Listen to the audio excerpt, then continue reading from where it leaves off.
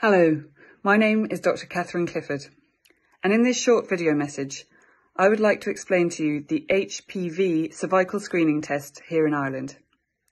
Cervical screening is a free test for people aged 25 to 65 years old. The cervix is the opening to your womb at the top of your vagina.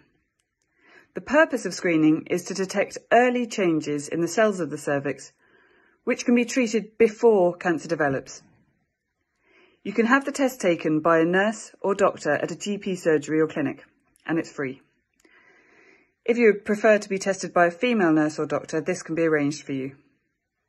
It is best to be tested when you do not have your period. The test takes about five minutes. The doctor or nurse gently puts a speculum, that's a specially designed medical tool, into your vagina so they can see the cervix and use a soft brush to collect cells from your cervix. The sample will then be sent to a laboratory and will be first tested for HPV. This is human papillomavirus. HPV is the virus that is the main cause of cell changes which can lead to cervical cancer.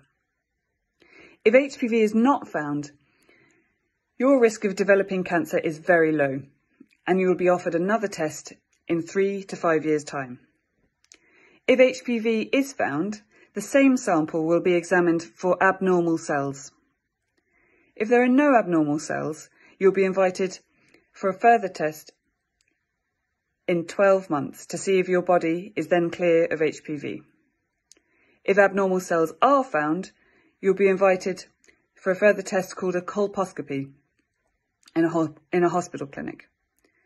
The great news is that about 9 out of 10 cases of cervical cancer can be prevented by regular screening.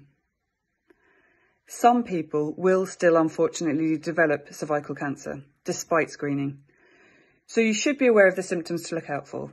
These include bleeding between periods, an unusual vaginal discharge, bleeding after sex, pain during sex, or pain in your pelvis. These symptoms can be caused by other conditions, but it is important to get checked by your GP or family doctor if you have any of these symptoms, even if your last cervical screening test was normal.